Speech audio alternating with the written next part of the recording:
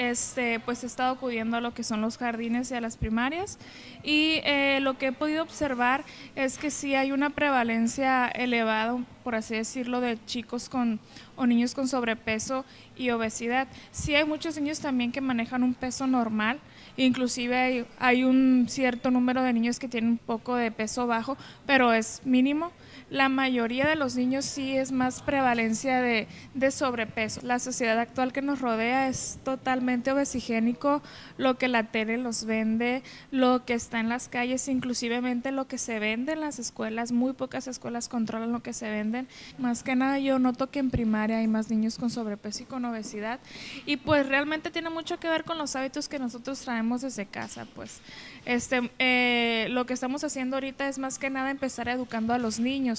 La, la cuestión aquí o, o lo que es el reto es más con los padres, pues también tratar de educar a los padres, porque si el papá no cambia sus hábitos, pues el niño difícilmente los puede, los puede cambiar también.